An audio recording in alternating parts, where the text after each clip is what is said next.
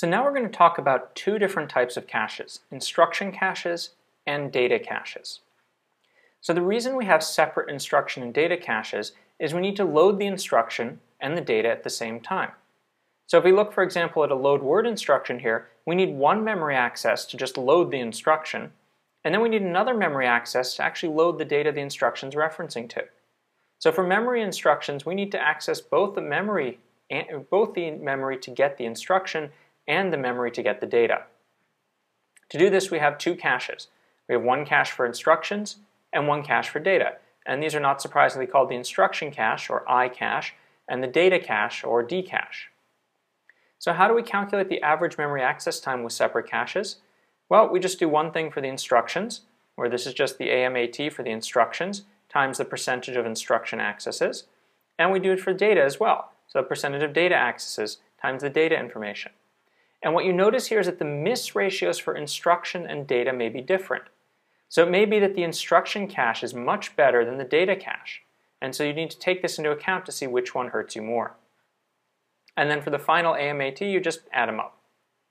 So let's take a look at an example here. So here I have an example. We have one cycle cache access time for hit or miss and 100 mem cycle memory access time. Our instruction cache has a miss ratio of only 1%, but our data cache has a miss ratio of 5%. 33% of instructions are loads or stores. So now let's apply this formula. So from instructions, well 100% of instructions need to load an instruction because they're instructions. So 100% of them are going to access the cache, 99% of the time we hit, 1% of the time we miss, and when we miss it costs us this much. From the data, only 33% of instructions are going to access the cache, but of those 33%, 95% are going to hit and 5% are going to miss. So our total average memory access time is going to be four cycles. And if you look here, you'll see that data accesses are only a third of the memory accesses, but because they have a higher miss ratio, they account for half the performance loss. So let's take a look at what caches really look like in processors.